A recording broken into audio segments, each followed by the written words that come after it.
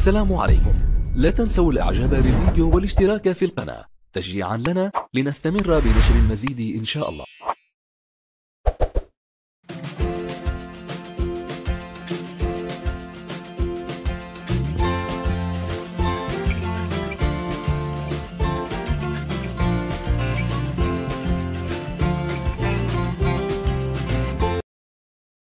السلام عليكم ورحمة الله وبركاته. ازيكم يا جماعة؟ عاملين إيه؟ يا رب تكونوا بخير. تعالوا بقى النهاردة نعمل مع بعض كحك العيد كل سنة وأنتم طيبين وعيد سعيد عليكم جميعا. هنعمله بقى بطريقة مميزة وحلوة كده وبمقادير سهلة وبسيطة. بسم الله ونبدأ بقى بسم الله. دي بقى مقاديرنا. الأول بس هنجهز العجوة ونجهز الملبن أنا هعمل مقدار كيلو كحك. فأنا جبت كده نص كيلو عجوة خدت نصه بصراحة وجبت نص كيلو ملبن برضو خدت نصه. على قد كيلو يعني.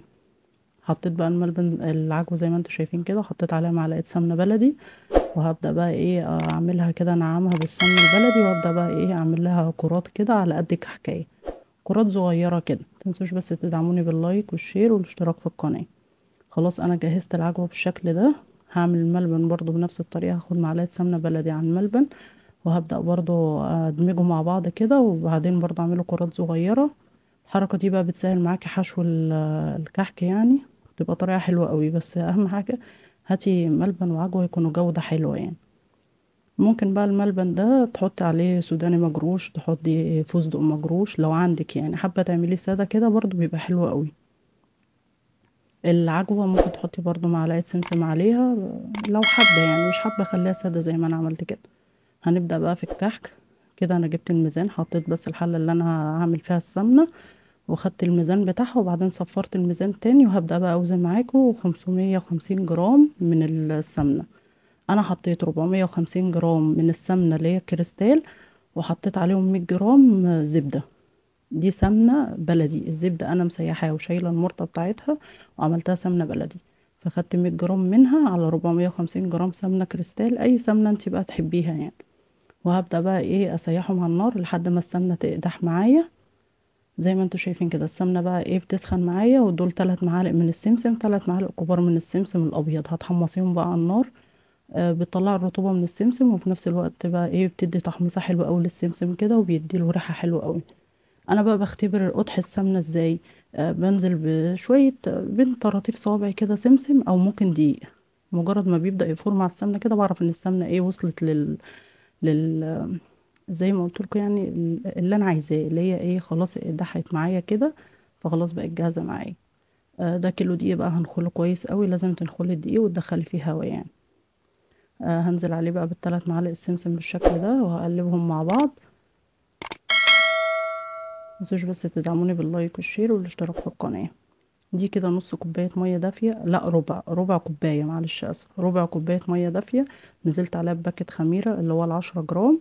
ومعلقتين كبار من السكر عشان معلقة صغيرة أنا حطيت أربع معالق بس هو يعني إيه هما معلقتين كبار من السكر. وهسيب بقى الخميرة إيه على جنب كده. ده test كده بتعمليه اختبار للخميره أنا ضامنه جودة الخميرة معايا وعارفة إن هي كويسة بس برضو انتي بتختبريها يعني. سبتها بقى على جنب تخمر معايا كده ونزلت بقى بالسمنة على الدقيق وهبدأ بقى إيه أفركهم مع بعض بالشكل ده. أنا كنت حطيت رشة ملح بس معلش الكاميرا ما جابتهاش يعني على الدقيق. أحطيها كده بتبقى زي سنة كده الملح ده بيبقى سنة. تبدأ بقى تفركي السمنة كده بالدقيق كويس قوي. متنسيش بس طول ما انتي واقفة كده تصلي على الرسول وتسمي الله. يعني إيه الحاجة دي بتطرح البركة في الحاجة كده وتسمي كده وتقولي يعني إيه بسم الله ما شاء الله يا رب يحسن ما بين إيديا وتصلي على الرسول. تجعلي الخير موجود كده وربنا يبارك لك في الحاجة اللي انت بتعمليها. تبدأ بقى تفركي السمنة كويس قوي. حركة البس دي بقى اللي هي بتضمني إن الدقيق يتغلف كله بالسمنة اللي انت حطاها. خلاص كده أنا بسيتها لحد ما الدقيق كله اتغلف معايا. جبت بقى الخميرة ونزلت بيها. الخميرة اللي أنا مدوباها في ربع كوباية مية ومعلقتين كبار من السكر. وبرضو إيه انت ما بتعجنيش يا دوبك تلمي العجينة بس بالخميرة. ده كده مج لبن. أنا حطيت عليه إزازة روح سمنة بلدي. حلو قوي صدقوني بت... كانت مدية ريحة حلوة قوي للكحك وطعم حلو قوي. وهبدأ بس إيه أنزل شوية بشوية كده وألم في العجينة. انت ما بتعجنيش يا دوبك تلمي بس العجينة باللبن بالطريقة دي. واحدة واحدة بس كده. إن شاء الله المقدار ده هيبقى مظبوط معاكي وكويس قوي وما تقلقيش منه خالص. المقدار ده مظبوط جدا.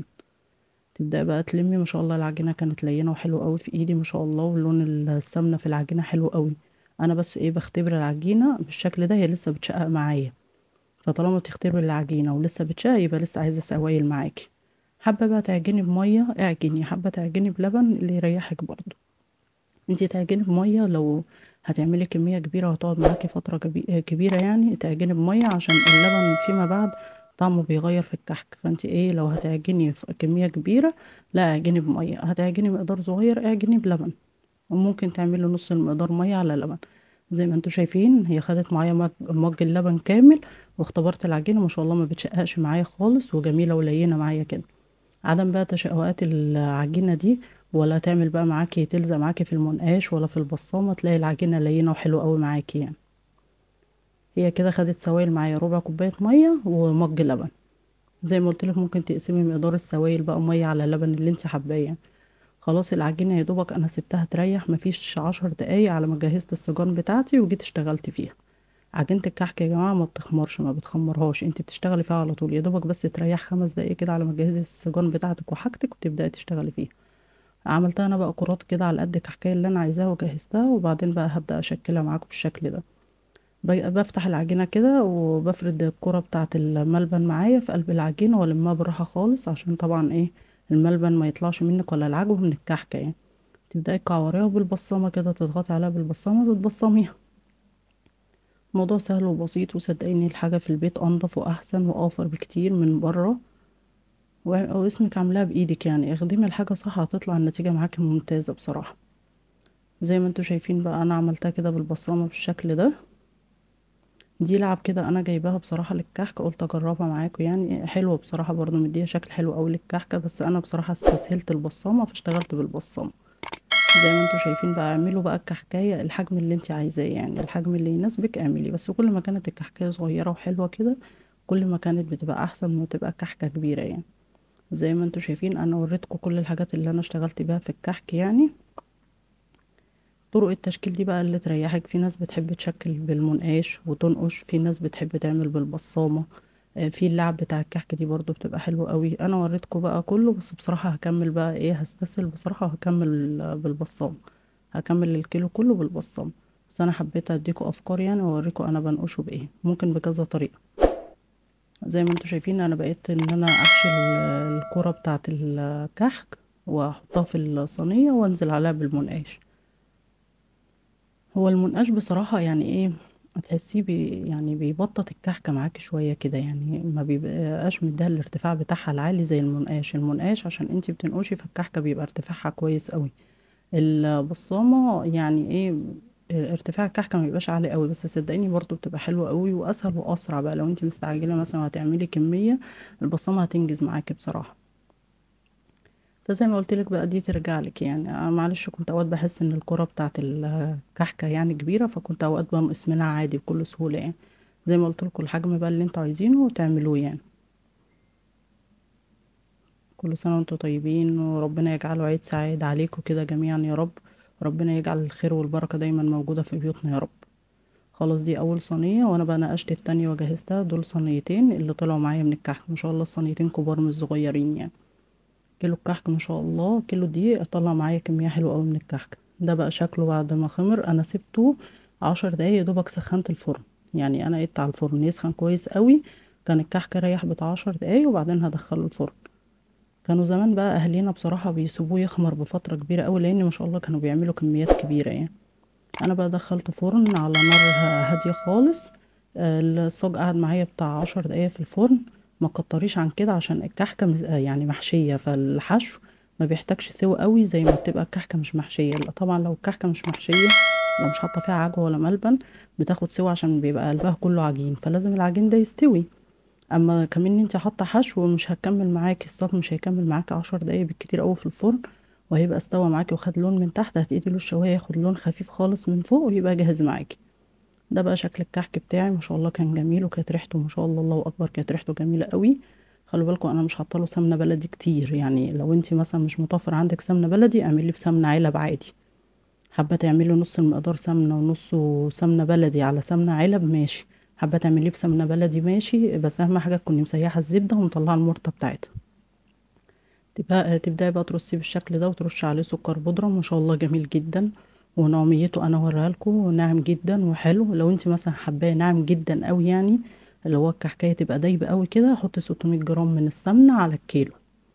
بس صدقوني ال 550 جرام حلو قوي الكحكة معقولة وماسكة نفسها كده يعني إيه تيجي تمسكيها في إيدك ما تفرولش في إيدك يعني. فزي ما بقولك لو أنت بتحبي سمنته زيادة وبتحبيه دايب قوي حطي له 600 جرام لكل كيلو تعمليه. في ناس بتحب تحط له baking powder أنا بصراحة مش دايما يعني بحب أحط ال baking powder بس دي برضو حاجة تريحك. لو أنت حابة تحطي له baking powder بيبقى معلقة صغيرة مسح كده من ال baking powder على كيلو دقيق أنا قلت برضو أعرفها لك يعني لو أنت حابة تحطي له baking powder بس ما شاء الله يعني هو كان حلو قوي بالخميرة وفي ناس بتعمله خميره بيرة. أنا بقى بصراحة بعمله خميره فورية. ده شكل الكحك بقى معايا ما شاء الله حاجة جميلة وتفتح النفس. وعايزه أقول لك أنا نسيت بصراحة أجيبها على الميزان. أنا وزنت الكيلو دي اللي أنا عملته كحك وزنت على الميزان اداني 3 كيلو كحك. يعني انت لو هتشتري من بره كحك جاهز ده مقدار 3 كيلو كحك من كيلو دي. أنتوا شايفين الفرق؟ فصدقيني اعمليه في بيتك حاجة حلوة وموفرة. أنا بقى كنت بوريكي شكل الحشو فيه الملبن والعجوة. أنا بصراحة الحشو كفى معايا كيلو دي يعني ما عملتش منه سادة. ده شكل الملبن بقى وكحكة معايا دايبة وجميلة وطعمها جميل جدا جدا جدا. وريحة السمنة البلدي فيها جميلة. ده بقى شكل الكحك بتاعنا. كل سنة وأنتم طيبين وعيد سعيد عليكم. والسلام عليكم ورحمة الله وبركاته.